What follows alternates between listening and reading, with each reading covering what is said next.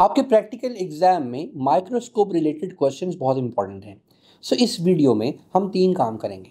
Number one I will tell you how to effectively use a microscope number two I will tell you how to make a high power and low power plan diagram and a normal diagram and number three I will tell you how to use a scale bar while doing calculations so let's have look देखो बेटे आपके microscope में आई piece होता है। आई piece lens होता है। ये ऊपर डलता है। लाइक दिस लाइक दिस उसके बाद नीचे जो आपको ये नज़र आ रहे हैं, तीन घूमने वाले, ये आपके ऑब्जेक्टिव लेंसेज होते हैं। जब आपने अपनी मैग्निफिकेशन बढ़ानी है या अकॉर्डिंगली घटानी है तो आप यहाँ से high power and low power के ऑब्जेक्टिव लेंसेज जो हैं, वो चेंज कर सकते हैं। आमतौर पर टेन और फोर्टी वाले ऑब्जेक्टिव लेंसेज यूज़ होते हैं। अब ये जब आपको माइक्रोस्कोप मिलेगी, ये इस तरह से ऑफ़ होगी आउट ऑफ़ फोकस होगी और ये आपको एक ग्लास स्लाइड जो है, ये दी जाएगी ऑब्ज़र्व करने के लिए। अगर आप गौर से देखेंगे तो आपको इस ग्लास स्लाइड में एक स्टेन नज़र आएगा। इस स्टेन को बेसिकली आपने आगे लेके आओ सर। माइक्रोस्कोप पे देखिएगा मैं इसको कैसे सेट कर रहा हूँ। कि मैंने इसको ऐसे सेट किया लाइट जलाई। अब मैं इस स्टेन को, ये राइट साइड पे आपके पास एडजस्टिंग नॉब्स हैं। यहाँ से आगे पीछे होती है ये, और नीचे करेंगे तो ये लेफ़्ट राइट होगी। ये एडजस्टिंग नॉब्स नज़र आ रही है वीडियो में? इन एडजस्टिंग नॉब से आप उस स्टेन को बिल्कुल लेंस के सामने ले आए। जब आप उसको लेंस के सामने ले आए, अब आप क्या करेंगे? अब मैं आपको एक छोटा सा हैक बताने लगा वो हैक ये है इसको एडजस्ट करने के लिए कि आप अपनी इस एडजस्टमेंट वाली नॉब को घुमाएँ और इसको अपने लेंस के जितना क्लोज लेके आ सकते हैं ले आए। लेकिन गौर कीजिएगा कि आपने इसको टच नहीं करना अपनी स्लाइड के साथ जितना क्लोज ला सकते हैं मैनुअली देखते हुए ले आएँगे लेकिन स्लाइड टच नहीं होनी चाहिए। जितना मैनुअली क्लोज आगे आगे, उसके बाद आप इसमें से देखते हुए स्लोली इसको दूर करते चले जाएँ। स्लोली स्लोली स्लोली आप इसको दूर करते चले जाएँ। एक ऐसा पॉइंट आएगा, जब आपको एक सूडो इमेज नज़र आए। और उसके बाद एक ऐसा पॉइंट आएगा, जब आपको इसमें ट्रू इमेज नज़र आ जाएगा पहले सूडो इमेज नज़र आएगा, और फिर आपको ट्रू इमेज नज़र आ जाएगा और आप उसको चेक करेंगे जब आपने प्लान डायग्राम बनानी है तो आपने छोटी मैग्निफिकेशन रखनी है, छोटा ऑब्जेक्टिव लेंस छोटा इन सेंस कि मैग्निफिकेशन छोटी मैग्निफिकेशन वाला ऑब्जेक्टिव लेंस लगाना और जब आपने हाई पावर की ड्राइंग करनी है, यानी जिसमें आपने इंडिविजुअल सेल्स ड्रॉ करने हैं, उसके अंदर आप हाई पावर ऑब्जेक्टिव लेंस लगाएँगे इसमें आपको इंडिविजुअल सेल्स नज़र आने शुरू हो जाएगा। सो हैक ये है पहले इसको मैनुअली देखते देखते बिल्कुल करीब ले आओ, लेकिन स्लाइड से टच नहीं होना चाहिए। लेकिन स्लाइड से टच नहीं होना चाहिए। उसके बाद आहिस्ता आहिस्ता अपनी तरफ़ घुमाते जाओ, ये दूर जाता जाएगा और बड़े सबर तसली के साथ आप काम करें। जो स्टेन है, वो लेंस के सामने आ रहा हो तो आपका इमेज बन जाएगा। सबसे पहले बेटे, आपको जब आप इसको एडजस्ट कर लेंगे तो आपको अपने पेपर के अंदर एक प्लान डायग्राम बनाने के लिए आए प्लान डायग्राम इस प्लान डायग्राम बनाने के लिए जो आपको मार्क्स अलॉट किए जाएँगे, वो फोर टू फाइव हो सकते हैं। चार से पाँच नंबर प्यारे बच्चों, आपको इस काम के लिए अलॉट किए जाए ये चार से पाँच मार्क्स लेने के लिए, वो आपको कभी कभी एक असेंबली और एक ओरिएंटेशन दे देते हैं। For example this is your field of view of the microscope what they do is they ask you to draw this half of the field of view और sometimes they ask you to draw the half, lower half part of the field of view or right hand side part और अपर complete part पूरे का पूरा ये complete part वो आपको कहते हैं ड्रॉ कर ठीक है जी? तो पहली बात तो ये कि आपको इसको बड़े गौर से कंसीडर करना है कि आपको कौन से पार्ट की ड्राइंग के लिए कहा गया है। नंबर टू प्लान डायग्राम के अंदर बेटे जो आपको स्पेसिमन दिया जा रहा है, याद रखिएगा कि ये स्पेसिमेन जो है, इसकी प्रिंटिंग हुई हुई आपकी स्लाइड के ऊपर। It is printed on your glass slide it is not a live specimen and पूरी दुनिया में each one of the candidate जो कि उस वेरिएंट का पेपर दे रहा है दे आर ऑल अच्छा बच्चे ने सवाल पूछा है what is the microscope ideal magnification बेटे, ये जो प्लान डायग्राम हम बना रहे हैं, ये plan diagram thank you for asking this question ये प्लान डायग्राम बेटे हम लो मैग्निफिकेशन पर बनाते हैं। जो टेन एक्स है। इसमें आपका जो ऑब्जेक्टिव लेंस है, वो टेन एक्स का लगेगा।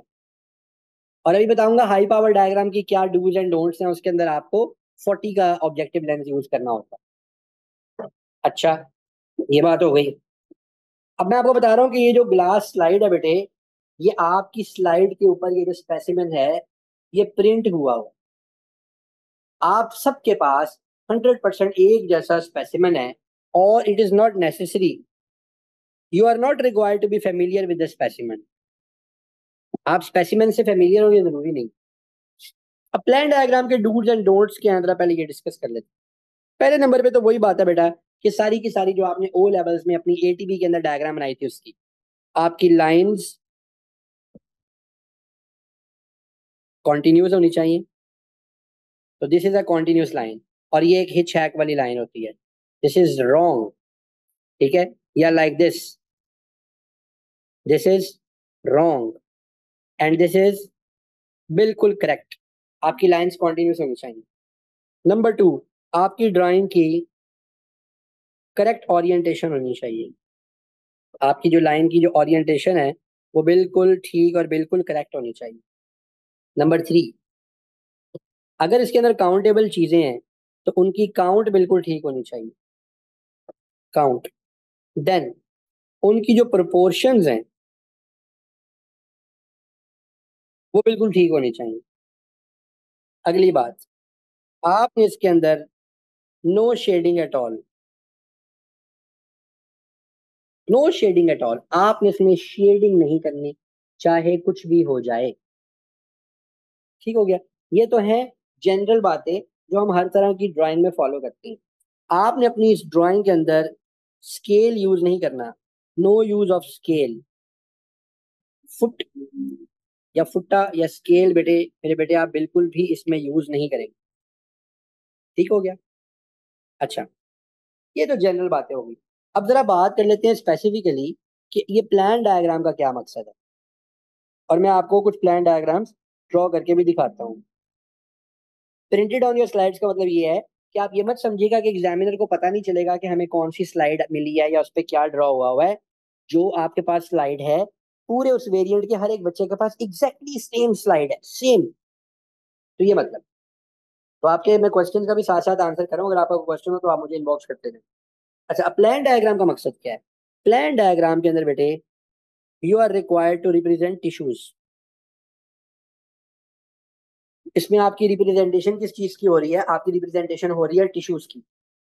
आपने सिर्फ़ टिश्यू ड्रॉ करने हैं। आपने इंडिविजुअल सेल ड्रॉ नहीं करना। नो इंडिविजुअल सेल्स की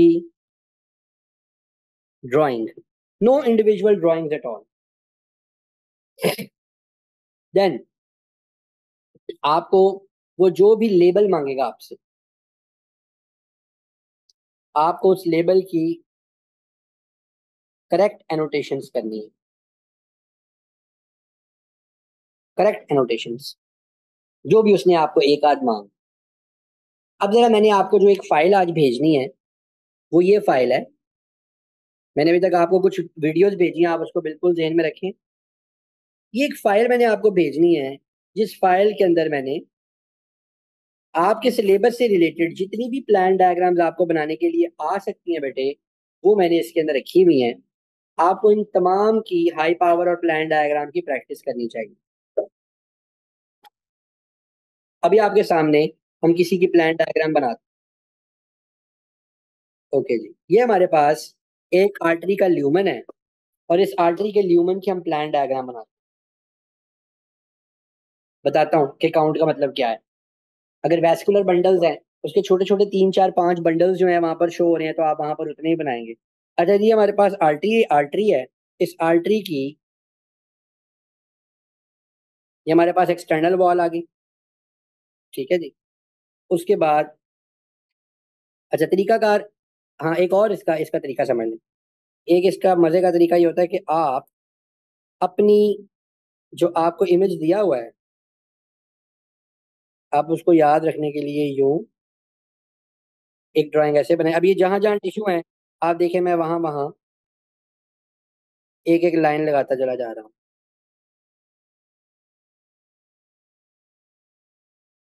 बस, इसके अलावा क्या है? यही तीन चीज़ें ना यहाँ पर हमारे पास। यही तीन हमारे पास इसके अंदर जो है, क्या कहते हैं लेयर्स आ रही हैं। ये this is your plan diagram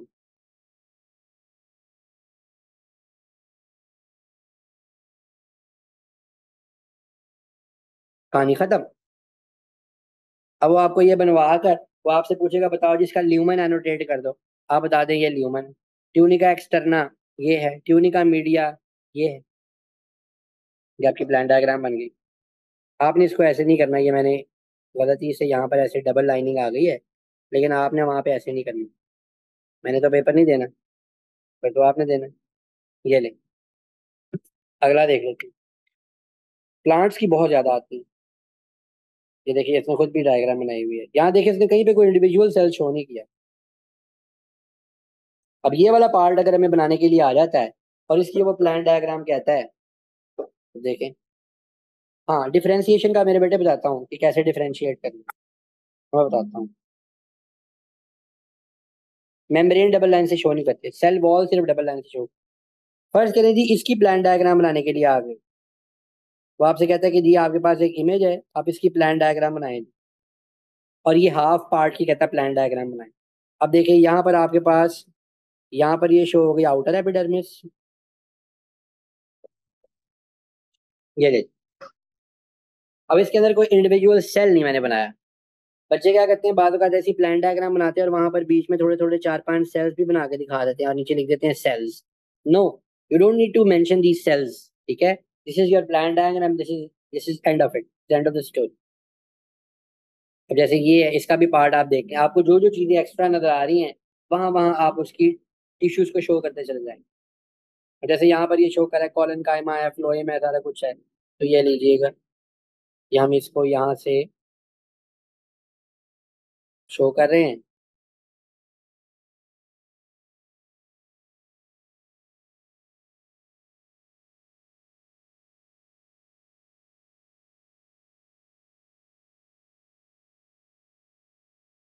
ये लीजिए तो ये बात इस तरह से करके दिखाने का मकसद ये है कि आपको पता चल जाए कि आपको प्लान डायग्राम के अंदर सिर्फ़ और सिर्फ़ टिश्यूज को रिप्रेजेंट करना और बाद में आप उन टिश्यूज को रिप्रेजेंट करके लेबल कर सकते ठीक है जी? तो this is how you make this plan diagrams अभी इसके बाद बड़ा इंपॉर्टेंट डॉक्यूमेंट शो करने वाला पहले आपको हाई पावर का बता दूँ। ये देखें जी, ये उसने बनाई है ऊपर और नीचे उसने बना के भी दिखा दिया कि इसके प्लान डायग्राम कैसी होनी चाहिए। So this is the plan diagram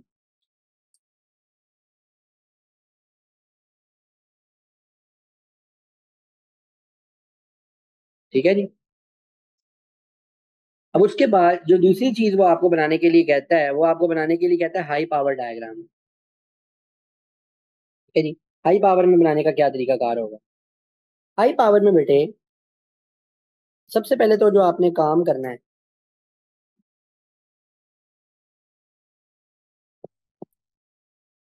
सबसे पहला जो आपने काम करना है हाई पावर ड्राइंग्स के अंदर, वो ये है कि आपने अपना ऑब्जेक्टिव लेंस चेंज कर लिया आपने अपने ऑब्जेक्टिव लेंस को हटाकर फोर्टी का ऑब्जेक्टिव लेंस लगा देना है। वैसे आप लोगों की जो लैब वाले बंदे होते हैं, उनको बड़ी सख्त इंस्ट्रक्शन दी होती है कि वो ऑब्जेक्टिव लेंस लगाते ही दो हैं। एक येलो पट्टी वाला और एक ब्लू पट्टी वाला। तो ब्लू पट्टी वाला जो होता है, उस पर लिखा भी होता है फोर्टी वो हाई पावर होता है।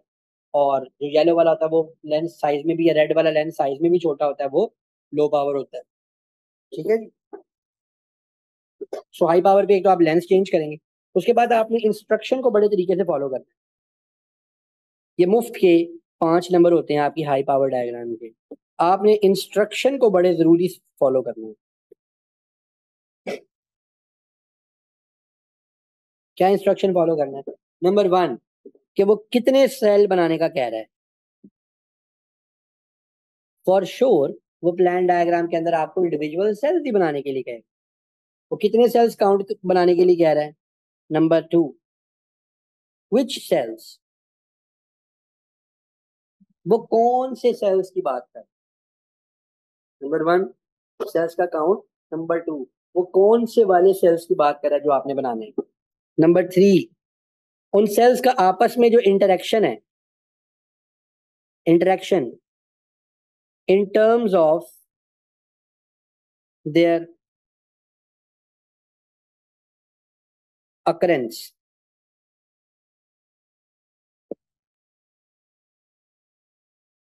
वो बात तो कहेगा, ऐसे चार सेल बनाओ, जो चारों आपस में एक दूसरे को कनेक्ट कर रहे हैं। ठीक है? वो बाद बनाएगा, यानी कि यहाँ पे मैं लिख देता हूँ। वो कहेगा, ऐसे बनाओ जो कि ऑल कनेक्ट कर रहे हो एक दूसरे को। तभी वो कहेगा, मुख्तलिफ़ डिफरेंट टिश्यू से सेल बनाओ जो एक दूसरे को कनेक्ट कर रहे हैं। डिफरेंट टिश्यूज के सेल्स बनाओ कनेक्टिंग ईच अदर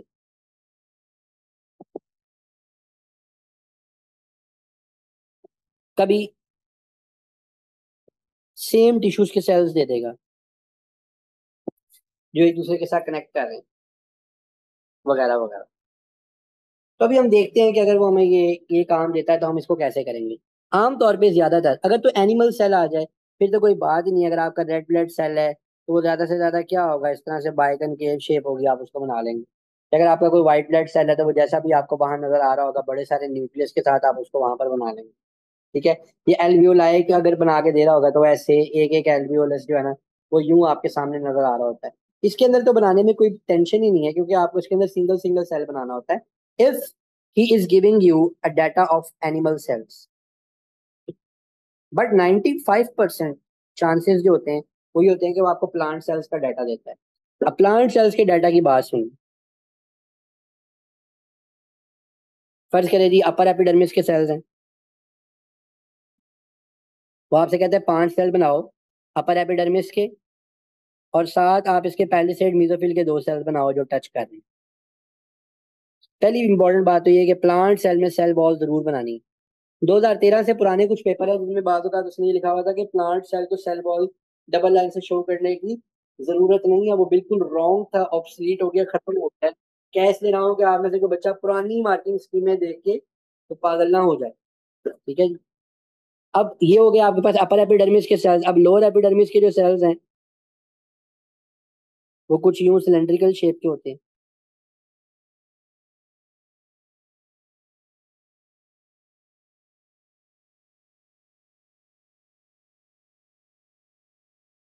अब एक मैंने यहाँ पे बड़ा इंपॉर्टेंट काम किया है। जो मैंने ये इंट्रा सेलुलर स्पेस बनाई है ना, इसकी वजह से मैंने अपना एक मार्क कटने से बचा लिया है। और वो कैसे बचा लिया है कि मेरे पास हर दो एडजेसेंट सेल्स में, मेरे पास हर दो एडजेसेंट सेल्स में आपस में सिर्फ़ तीन ही लाइंस हैं जो कनेक्ट कर रही हैं। यहाँ एक थोड़ी सी गलती हुई है।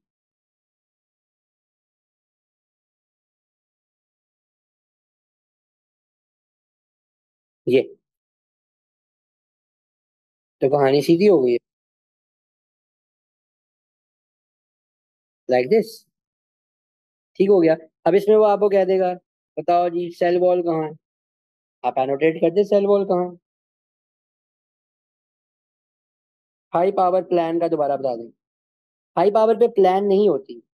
अच्छा हाँ बच्चे पूछ रहे हैं, हमें पता कैसे चलेगा कि वो हमें क्या कह रहा है? हाई पावर बनाने के लिए कह रहा है कि छोट लो पावर बेटा पहले वो आपको लो पावर बनाने के लिए कहेगा। ठीक है? ये प्लान डायग्राम होती ही लो पावर है। लो पावर और लो पावर का मतलब क्या होता है? लो मैग्निफिकेशन उसके अंदर आपको ज़्यादा नंबर ऑफ़ सेल्स नज़र आ रहे हो।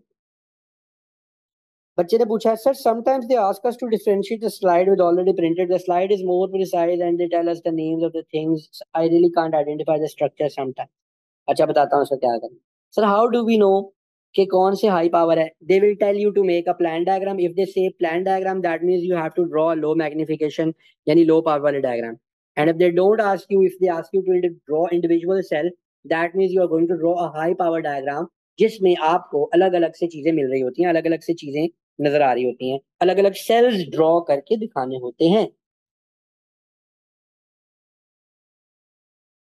अच्छा राफे ने पूछा how what do we mean by count in plan diagram तो जानी जैसे अभी आपने पिछले वाले में देखा कि मैं काउंट कर करके बना रहा था आपके vascular bundles this is called count यहाँ पे मैंने लेयर्स काउंट करके बनाई। दिस इज़ कॉल्ड काउंट ये देखो वैस्कुलर बंडल जितने आधे में आ रहे थे काउंट करके बना दिए। काउंट बस सिंपल मेम्ब्रेन डबल लाइन से शो नहीं करेंगे। अच्छा। वापस चलते हैं। क्वेश्चन रिपीट हो रहे थे आपके। ओके तो ये है जी हाई पावर आपकी डायग्राम इसमें आप एनोटेट कर दें वो आपसे पूछते हैं सेल वॉल कौन सी है? तो आप ऐसे करके फुट से लाइन लगा के बता दें कि ये है जी हमारे पास सेल वॉल अब बेटे, इसके बाद जो इंपॉर्टेंट काम आपने करना होता है, वो काम आपका मैग्निफिकेशन का होता है। मैग्निफिकेशन आप में से अक्सर बच्चों ने हाउ टू यूज़ क्या कहते हैं माइक्रोस्कोप वाली वीडियो देख ली है, लेकिन अभी तक आप लोगों ने how to use scale bar की वीडियो नहीं देखी।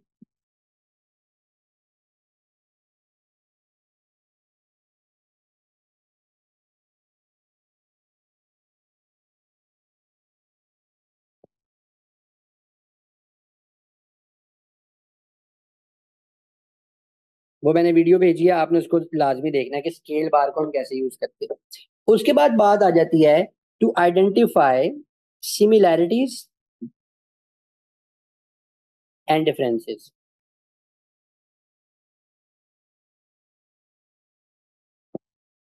अब बेटे सिमिलैरिटीज और डिफरेंसेस में आपने सबसे क्या क्या चीज़ें देखनी number one distribution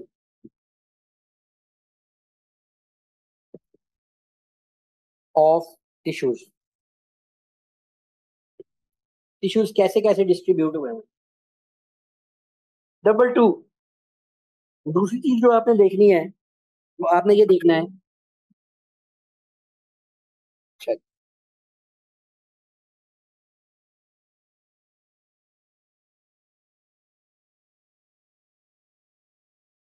जी मुताहिर बेटा शेयर करूँगा। ये सारी वीडियो शेयर करूँगा और ये जो लिख रहा हूँ, ये भी शेयर कर दूँगा। और उसके बाद ग्रुप खत्म कर दूँगा। क्या जब तक आपका चलो प्रैक्टिकल नहीं आया था तब तक ही हम ग्रुप चलने देंगे। प्रैक्टिकल खत्म हो जाएगा, फिर हम ये ग्रुप खत्म करेंगे, ताकि कोई और सपोर्ट भी हो तो मैं आपको देता रहूँ उसमें हाई पावर डायग्राम में न्यूक्लियस या वैक्यूल शो नहीं करना नहीं करना। क्योंकि वहाँ आपको नज़र नहीं आ रहा हो अगर वहाँ नज़र आए तो फिर शो कर दीजिएगा। आमतौर पर ये जाइलम वगैरह बनाने के लिए आती है तो उसमें ये डिटेल नहीं शो नहीं करते।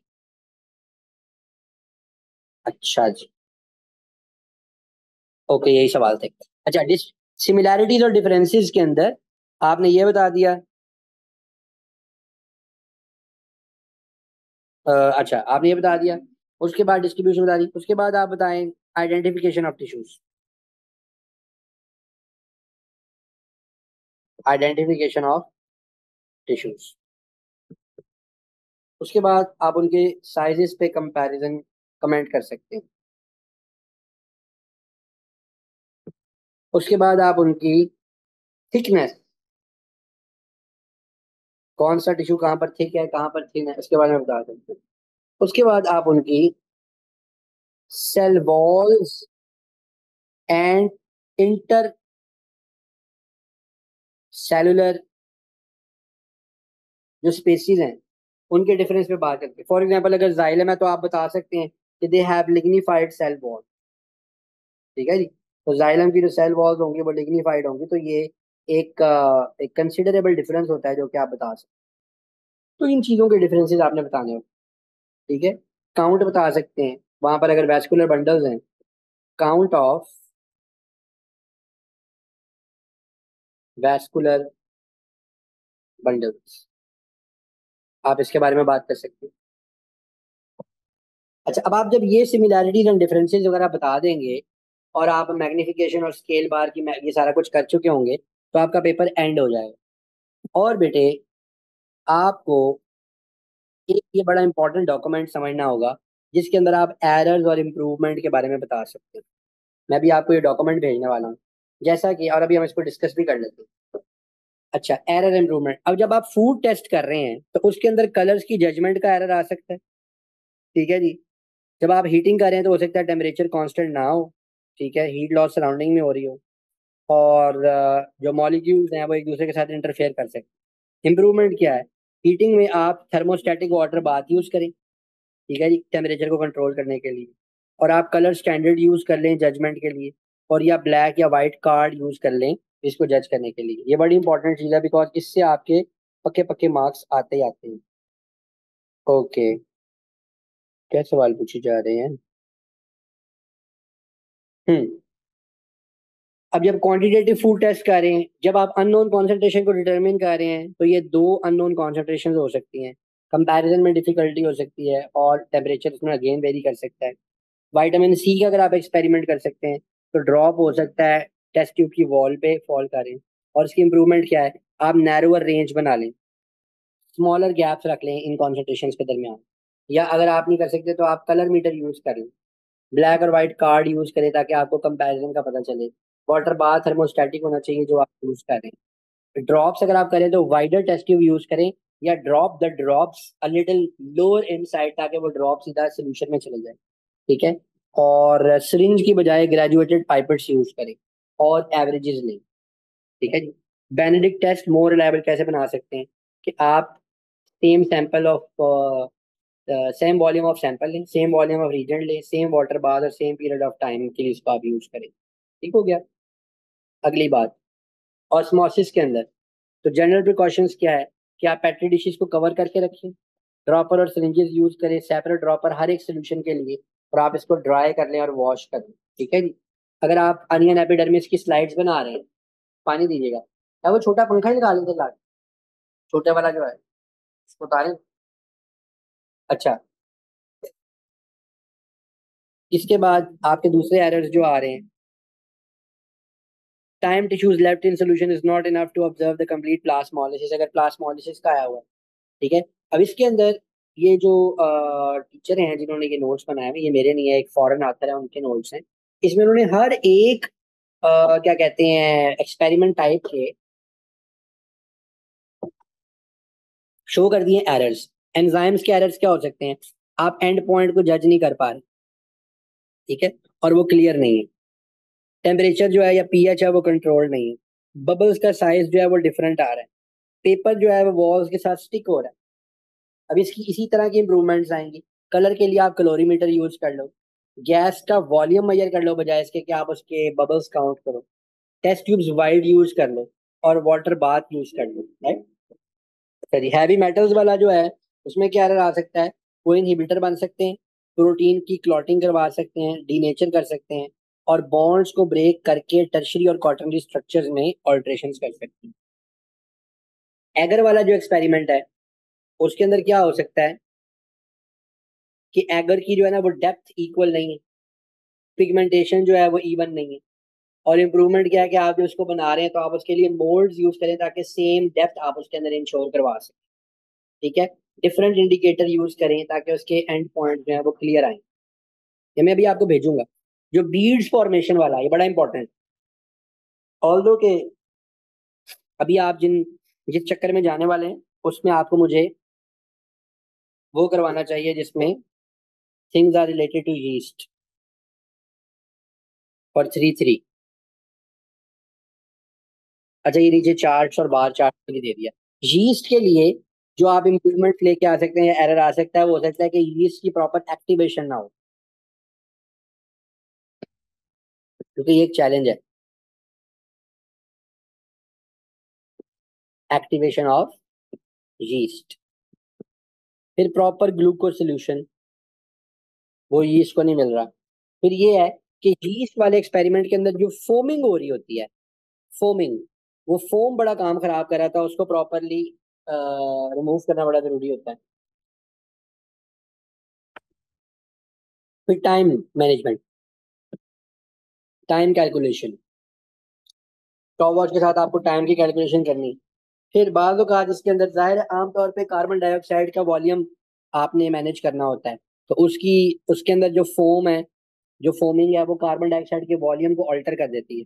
या कार्बन डाइऑक्साइड बबल में ट्रैप हो जाती है C O two is trapped in bubbles, in foam bubbles, and not properly collected. ठीक है? तो मैं आपको अभी ये डॉक्यूमेंट भी भेजता हूँ।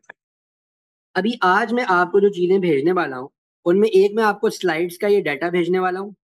आपको इन सारी स्लाइड्स को गौर से देखना है। अच्छी तरह इनकी प्लान डायग्राम्स बना के देखनी है। इनकी एनोटेशन और इनकी लेबलिंग को याद करना है, क्योंकि घूम फिर के इसी से मिलता जुलता डाटा आपको आपके पेपर में आएगा। ठीक है? इसके अलावा स्लाइड्स आ नहीं सकती, क्योंकि सिलेबस में उसने मेंशन कर दिया हुआ है। यहाँ पर मैंने एक इंपॉर्टेंट लिंक भी पेस्ट कर दिया, आप इसको भी वॉच कर लीजिएगा। ठीक है जी? ये ज़्यादा नहीं है, ये ज़्यादा से ज़्यादा कितनी होंगी? ट्वेंटी फाइव होंगी। और अगर आप इन ट्वेंटी फाइव की ट्वेंटी फाइव को प्रिपेयर कर लें, आपकी पक्की प्रेपरेशन हो जाएगी। जी बच्चों ये क्वेश्चन देखिएगा। वो कहता है figure shows the same micrograph as shown in figure 2.2 the line X Y is drawn across the width of stem ये एक्स से लेके वाई तक ड्रॉ है। और यहाँ पर उसने आपको एक स्केल uh, दिया हुआ है। अब करना क्या है? वो कहता है use the line X Y and scale bar to calculate the actual width of the stem इसके लिए आपको क्या चाहिए होगा? इसके लिए आपको पहले तो इसकी मैग्निफिकेशन चाहिए होगी। अब इसकी मैग्निफिकेशन निकालने के लिए आप क्या करेंगे? कि आप स्केल रख के इसको यहाँ पर मैयर करेंगे। जब आपने स्केल रखा और आपने इसको मैयर कर लिया मैयर किया तो फ़र्ज़ करेंगे आपके पास आ गया ट्वेंटी मिलीमीटर अभी आपके पास अगर ट्वेंटी मिलीमीटर आया है तो इसका मतलब इसको माइक्रोमीटर में कन्वर्ट करना होगा।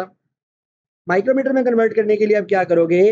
ट्वेंटी को मल्टीप्लाई कर दोगे विथ थाउज़ेंड अभी आपके पास आ गया twenty thousand twenty thousand micrometer को डिवाइड करो two fifty three point five micrometer से। तो माइक्रोमीटर माइक्रोमीटर से कट जाएगा और आपके पास यहाँ पर एक आंसर आ जाएगा जो कि मैग्निफिकेशन होगी ये हम क्या निकाल रहे हैं? मैग्निफिकेशन अब इसको करके देखते हैं कि क्या मैग्निफिकेशन आ रही है। मैंने किया twenty thousand divided by two fifty three point five ये हमारे पास आंसर आ गया seventy eight point eight nine तो हम इसको कर लेंगे सेवेंटी एट पॉइंट नाइन ये हमारे पास मैग्निफिकेशन आ गई। अब उसने हमें एक्चुअल पूछा है तो आपको पता है कि एक्चुअल क्या होता है? Actual is equal to image over magnification image over magnification ठीक है? ये मैंने सोचा एक डिफरेंट मेथड से आपको करके दिखाऊँ। इमेज को आपने मैयर किया फ़र्ज़ करो, आपके पास इमेज आ गया 100 मिलीमीटर इसको आप डिवाइड करो 78.9 से। जब आप इसको करेंगे तो आपके पास आंसर आएगा 78.9 ये आपके पास आ रहा है 1.26 मिलीमीटर क्योंकि यहाँ नीचे कुछ नहीं है तो ये मिलीमीटर ही ट्रांसफ़र हो जाएगा। तो आपके पास ये यू आंसर निकल सकता है। तो अगर आपको कहीं पे स्केल गिवन हो तो प्यारे प्यारे बच्चों, आप इस तरीके से आंसर निकाल सकते हैं।